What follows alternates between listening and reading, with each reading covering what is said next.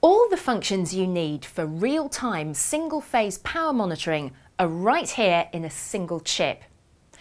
With everyone from governments to industrial users and consumers talking about saving energy, Microchip's MCP39F501 gives you advanced power monitoring performance with minimal firmware development.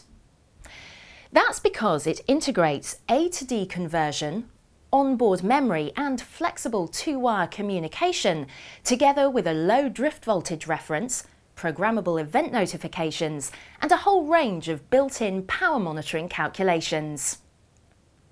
The MCP39F501 takes care of measurement accuracy too, with an impressive 0.1% error across a dynamic range of 4,000 to 1. Find out more about this advanced power monitoring IC by visiting the website today.